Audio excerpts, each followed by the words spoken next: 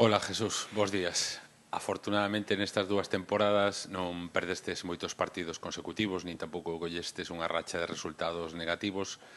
Esta é a peor neste momento. Entón, non sei se hai que variar moitas cousas con respecto a momentos vividos anteriormente ou se os resultados non positivos fanche que, que penses máis, que reflexionedes máis, que, que faledes máis, que traballedes máis, onde está un pouco a, a receta? Muy buenos días. A ver, yo creo que que todo el jugador a lo largo de su carrera pierde más de lo que gana. Eh, por lo tanto, no creo que sea algo novedoso para nosotros. ¿Cuál es la receta? Si supiera la solución, pues lo habría puesto hace un par de meses, pero no, no, yo creo que al final lo único que está en nuestra mano es trabajar, intentar corregir los errores que estamos teniendo y a partir de ahí dar el máximo de, cada uno para ayudar al grupo y seguro que revertimos la situación. O error está dentro do fútbol, moitos goles son eh, proba do, do, do error.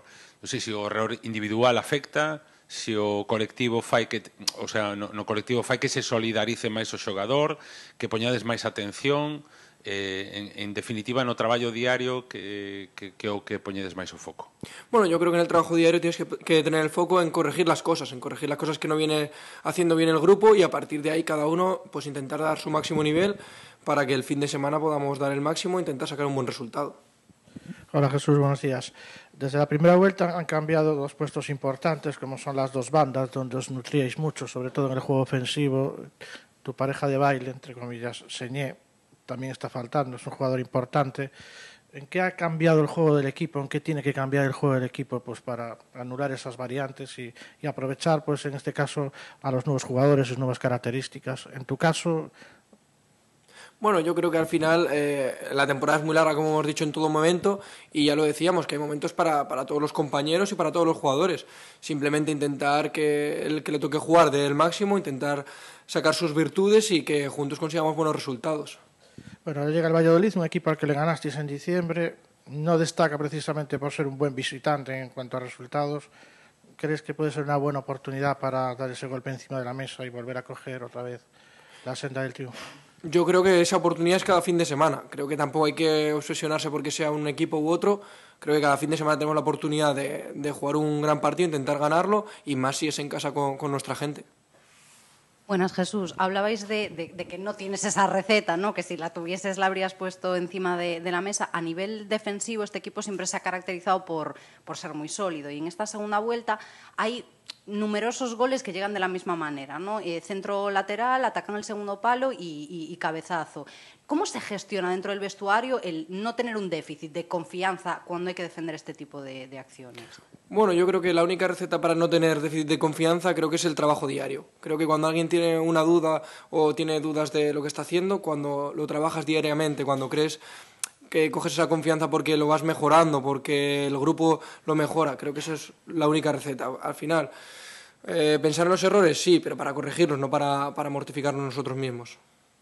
También comentabas que, no hay que obsesionarse con este partido, ¿no? con, que, con que haya que sumar de, tres en este partido. Sí que es verdad que son tres meses ya sin, ganar en casa y a Malata también fue pues, un factor importante, tanto en el ascenso como, como en la primera vuelta. La afición está volcada, se está movilizando para apoyaros desde el calentamiento. ¿Cómo estáis viviendo ese, apoyo ¿no? que no baja? Yo diría que desde el principio, de, desde el año pasado, con mucho orgullo, porque al final que que la gente pierda su tiempo, entre comillas, perder en, en, venir a animarte, en apoyarte, sobre todo en los malos momentos, creo que, que es de agradecer. Y simplemente desde aquí animarles a, a que vengan, a agradecer el apoyo que, nos, que vamos a recibir seguro y a partir de ahí que intentaremos dar lo mejor de nosotros mismos.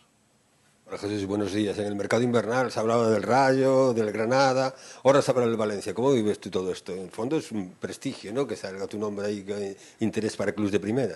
Bueno, sinceramente no lo vivo. Eh, te mentiría si te dijera otra cosa. Al final yo estoy concentrado en el día a día y más ahora que creo que queda un final de temporada que puede ser muy bonito, que, que creo que tenemos que estar disfrutando esta temporada, que aunque estemos en un mal bache, creo que es una temporada bastante buena en lo grupal y, diría que, que, al principio de temporada soñábamos estar en esta como estamos y estoy centrado en eso. Creo que si pensara en otras cosas estaría equivocándome. ¿Y tu idea es seguir en el Racing o habrá, lo pensarás al final de temporada? como te digo, yo creo que es el momento de disfrutar de la temporada, de trabajar al máximo las 12 jornadas que nos quedan y a partir de ahí pues ya veremos, creo que es una decisión que tiene que ser común entre varios factores y creo que, es, que no es el momento ahora mismo más que de estar centrado en el día a día.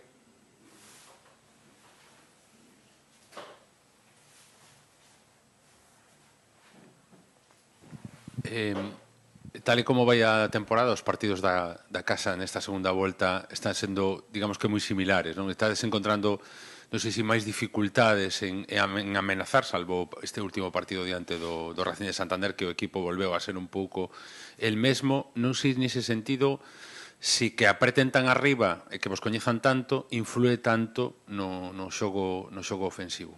Bueno, yo creo que al final eh, hay equipos que te presionan de una manera y otros de otra. Creo que tenemos la capacidad para poder salir de esa presión para poder hacer nuestro juego y quizás en algunos partidos no hemos estado finos con balón o individualmente quizás no hemos estado al, al nivel que, que, habíamos estado anteriormente y creo que eso ha podido un poco perjudicar a, al equipo. Creo que es más mirar a nosotros mismos que mirar al rival. Creo que es lo importante que hacíamos en la primera vuelta y seguimos haciendo. Y creo que al final depende de nosotros. Eh, moitos partidos tocouche un papel de axuda, non? de salvador para outros compañeiros. Recordo o partido de Hassan con Brais, que lle deu unha tabarra todo o partido, pero isto vivímoslo noutros partidos. Este fin de semana ven a Mate Ndiaye, que é un xogador diferencial, leva cinco goles dende que chegou no mercado invernal.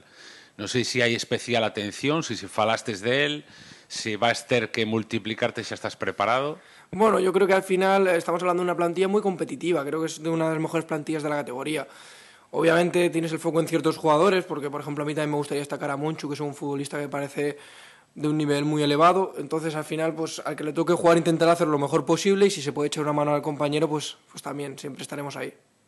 Que sexa un equipo que, que, que, que presiona alto, nos últimos partidos parece que baixou un pouco a presión, o nivel de presión, que presiona un pouco máis baixo, pero que sexa un equipo que presiona alto, que deixa espacios, mmm, quizáis convén, non? Quizáis eh, así a priori poda ser un equipo que se vos poida dar ben se estades ben na balón. Bueno, yo creo que al final cuando un equipo te presiona arriba y deja espacios como tú dices, si estás fino con balón y puedes saltar las líneas y encontrar los espacios, puedes hacerles mucho daño.